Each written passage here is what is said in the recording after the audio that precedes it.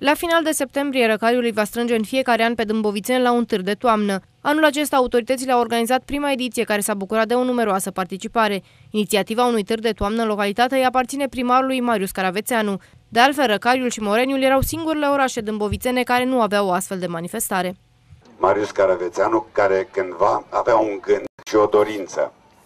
Și astăzi acel gând și acea dorință s-a împlinit.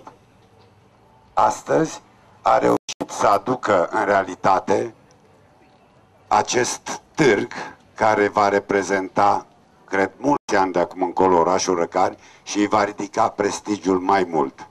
Ce pot să spun este, îl felicit pe, pe domnul primar pentru inițiativă. Sunt puțini primari care sunt atât de devotați localității. Îl felicit și pentru ce a realizat în acest oraș. Dumneavoastră vedeți ce a realizat și vă felicit și pe dumneavoastră că sunteți alături de el și nu pot decât să vă urez distracție plăcută, sănătate și să, să ne fie un pic mai bine. Asemenea inițiative, iată, prin viață, ele sunt extrem de importante pentru viața economică, socială și economică a județului. Uh, importanța negoțului, schimburilor, am învățat fiecare la școală, este covârșitoare în creșterea bunăstării uh, oamenilor.